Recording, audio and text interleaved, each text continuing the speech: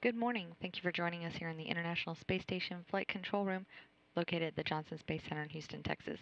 This is a live view from the back of the room here in the Flight Control Room where the Orbit 2 team is is uh, working. They're being led by Flight Director Chris Edelen, who's uh, just gone out of the view on the right, uh, now shown in the center. He's leading this Orbit 2 team, which has uh, just come on console a couple of hours ago and working with the crew in the uh, middle of their of their day.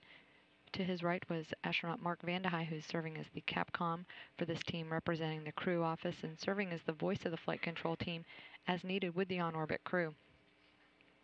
On the International Space Station, we have the Expedition 30 crew shown here with Commander Dan Burbank in the center, and to the left, cosmonaut Anton Shkaplerov, and to the right, fellow cosmonaut Anatoly Ivanishin. The three again in the mid-afternoon of their crew day, all the activities going smoothly.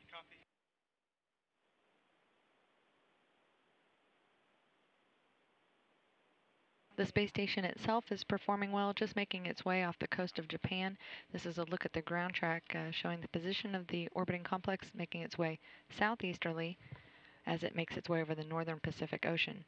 The uh, space station is traveling at an altitude of 383 kilometers, which is about the equivalent of 208 nautical miles as it's making its way over the Earth.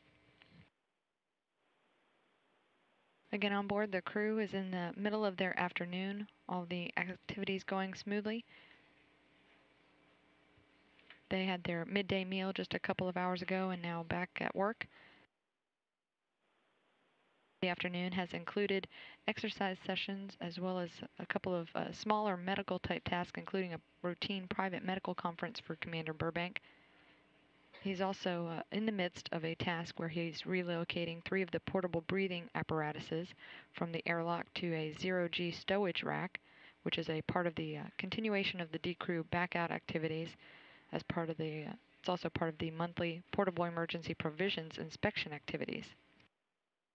Later in his afternoon, Dan will also perform a changeout of the flash data disk in the image processing unit of the SODI DSC, or Selectable optical diagnostics instrument experiment.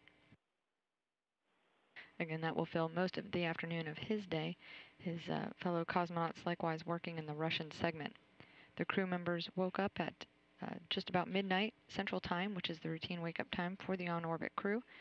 Their morning activities included, again, a, some experiment work, including the reaction self test, as well as an inspection of the vehicle Commander Burbank performed about three hours of unpacking from the Progress cargo craft, which is docked to the space station.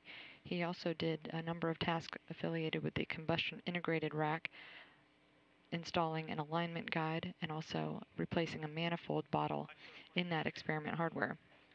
His morning also included some exercise on the ARED or the resistive exercise device and work on the integrated cardiovascular experiment, which is one of the ongoing experiments for the space station crew.